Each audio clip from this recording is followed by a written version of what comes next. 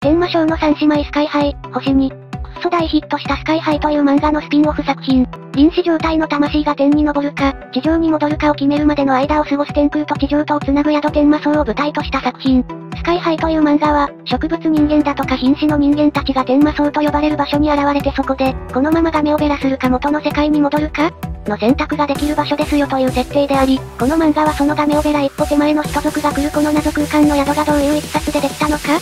か、その旅館の従業員と、その従業員が現世で関わった人族たちが旅館に来るという部分がメインシナリオ。この旅館の従業員たちは全員ガメオベラした人族たちであり、上位存在のメスが旅館ごと謎空間にガメオベラするかどうかの選択をする場所を作ろうぜという感じで生まれた場所。元人間でありこの謎空間で人族が人生の延長線をしているみたいな感じであり、おまんじゅう的興味はこの謎空間で生まれる食料とか生活用品は誰が生産してどうやって手に入れているのか？という部分が気になる。ところどころの言動で、この謎空間はドラゴンボールの展開みたいな扱いで、人間は死ぬと展開と呼ばれるクッソ遠い宇宙の一つの惑星に行く、物理的にクッソ遠いだけなので帰ってこれるとかそんな感じだと思われるが、シャンプーのようなマスプロダクトはどう考えたって大量の死者や産業が必要だったり現世のインターネットは使えないと思われるし、私気になりますので、